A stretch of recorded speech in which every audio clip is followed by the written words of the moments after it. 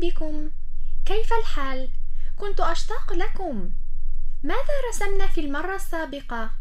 نعم رسمنا قوس قزح ملونا بالأوراق الملونة بعد قصها ولصقها. وبينما نرسم هكذا صحيح أنه لا يمكن أن نصعد للسماء. ولكن من خلال الرسم يمكن أن ننطلق في رحلة القصة. فما رأيكم أن ننطلق بقلوب تتطلع لما سيحدث بعد ذلك في رحلة القصة هذه؟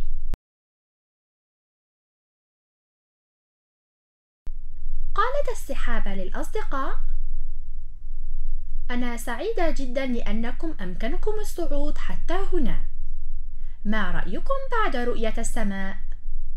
سألت السحابة وأجابت الطفلة هكذا: نحن سعداء جدا لكن في الحقيقة أنا فقدت الطريق لبيتي.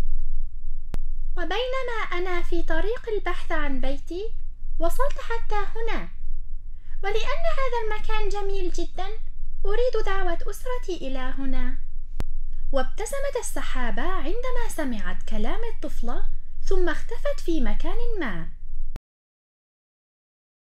ثم عادت مع سحابة أخرى ولكن لما هذا؟ السحابة أحضرت بيتا جميلا جدا لأصدقائها.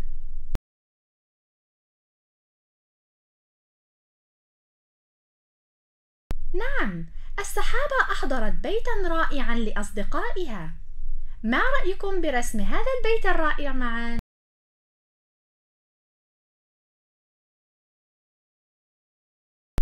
إذا أولا نرسم مربعا هكذا.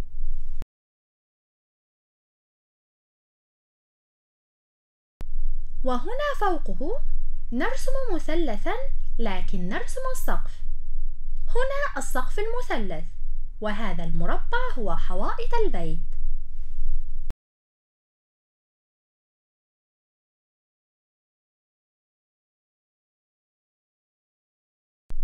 والآن هنا بجانبه هكذا.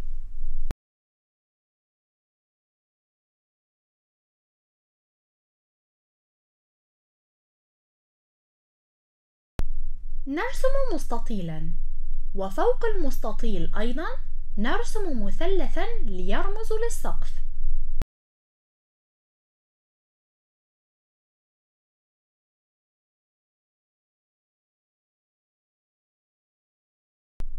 ثم نضع نقوش السقف هكذا.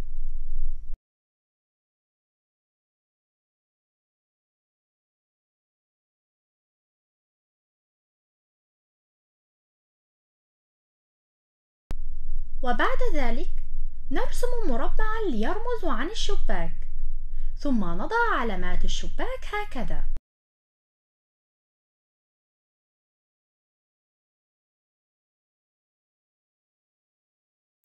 ثم هل نرسم الباب وفوقه بشكل نصف دائري هكذا؟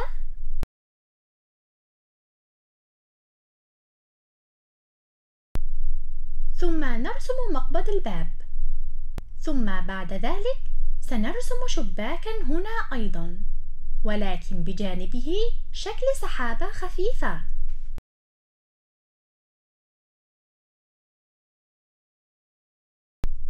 نرسم علامات هكذا.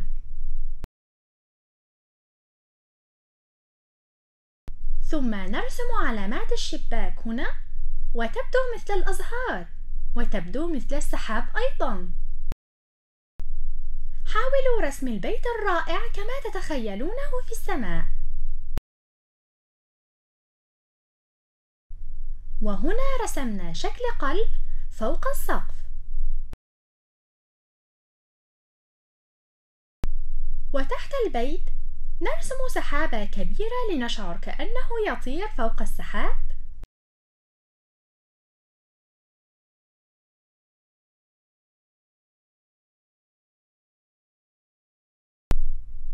وبداخل السحابة أيضا نرسم خطوطا دائرية هكذا بهذا نملأ الجزء الداخلي للسحابة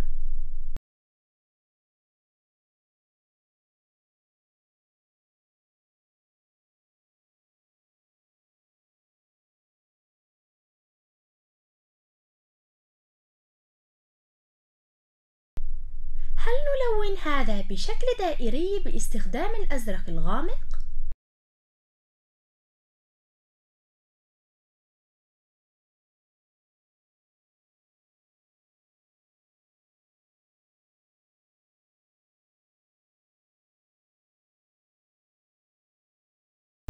والآن كما فعلنا المرة السابقة هيا نرسم بعض السحابات البيضاء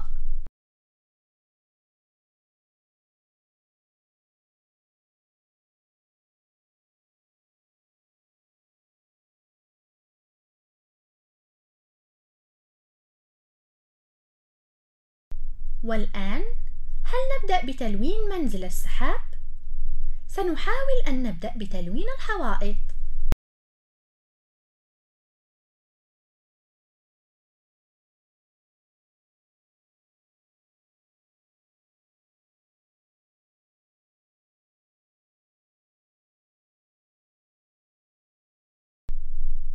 ربما يكون من الأجمل تلوين البيت الذي يطفو فوق السحاب بعدة ألوان بدلاً من لون واحد.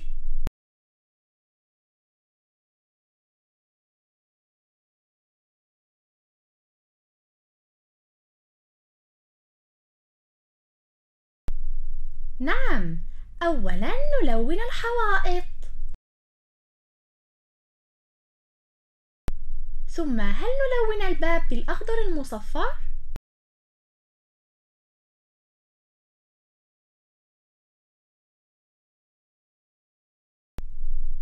ثم الجزء الأعلى من السقف أيضا.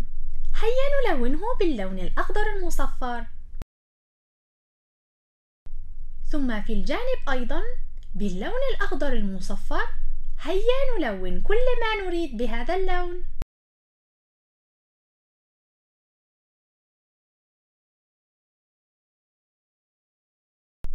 نعم.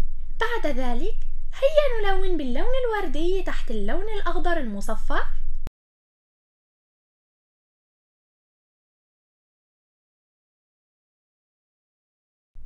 سألون الجزء الأعلى.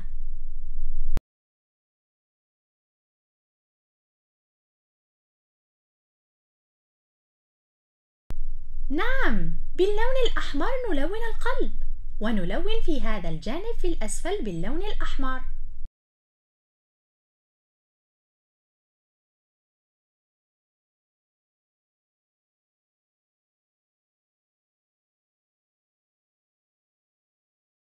نعم نعم.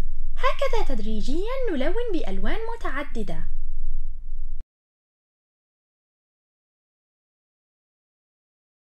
سنستخدم البنفسجي بعد ذلك.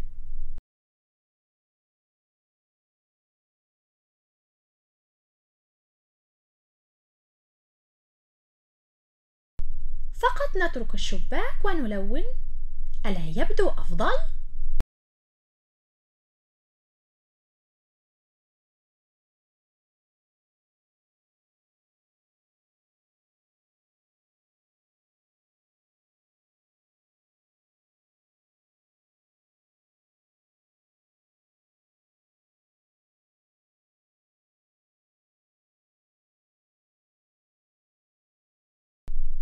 إذا كان تفادي الشباك أمر صعب يمكنكم التلوين بشكل أوسع وأوسع وعدم وضع الشباك.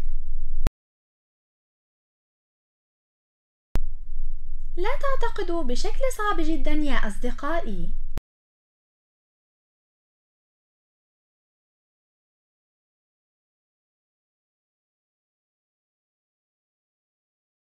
نعم نلون هذا الجانب باللون البنفسجي.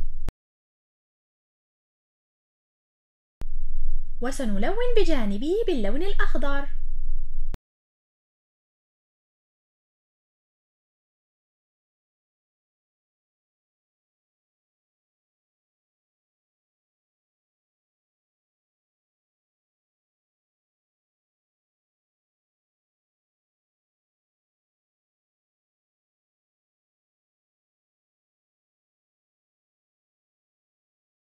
يكتمل البيت الجميل الذي يطفو فوق السماء بشكل تدريجي.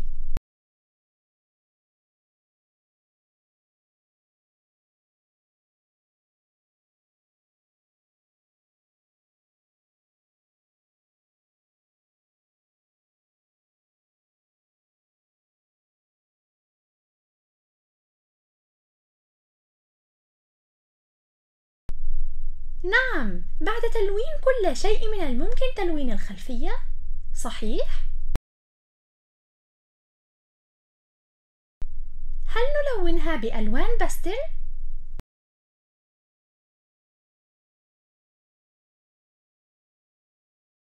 هذه المرة سنحاول وضع اللون الوردي في أعلى السماء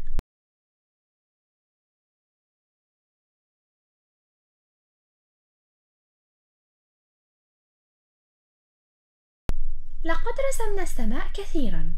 السماء الصفراء والسماء الزرقاء والسماء البنفسجية والسماء الخضراء.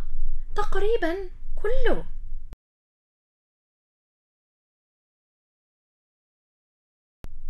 لذلك حان وقت السماء الوردية. لذلك نلون بشكل خفيف باللون الوردي الفاتح هكذا.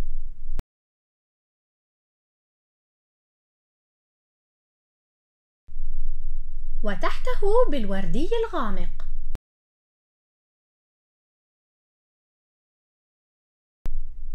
ثم هل ندلك بعد ذلك؟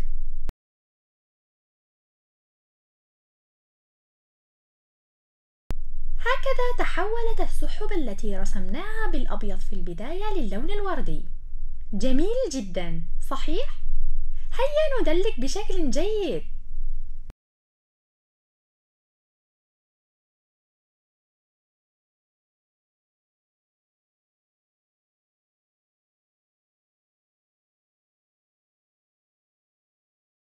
وإذا تريدون أن يظهر اللون بشكل أغمق لذلك قوموا بإضافة اللون ثم ندلك أكثر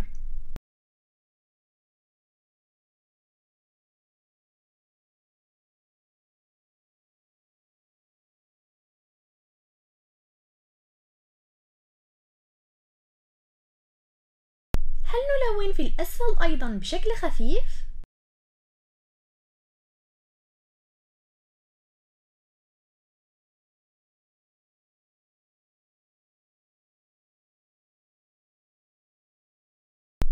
هنا سندلك باللون البنفسجي قليلا. وهنا سنخلط اللون الوردي الغامق. وفي هذه الناحية ندلك باللون الوردي أكثر قليلا.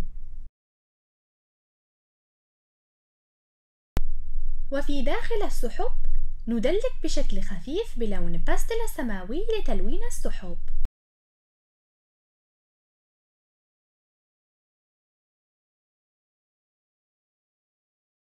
رائع! هكذا انتهى كل شيء يا أصدقائي نعم ما رأيكم في محاضرة اليوم؟ هل رسمنا البيت الذي يطفو فوق السحاب بشكل جميل وبحرية؟ أتمنى أن ترسموا بيتا جميلا جدا. يا أصدقائي هل سمعتم عن كلمة التخيل؟